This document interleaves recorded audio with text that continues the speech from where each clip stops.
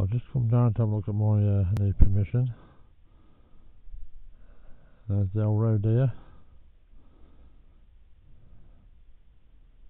Just working its way along the edge of the spinney. Having a chomp on the way.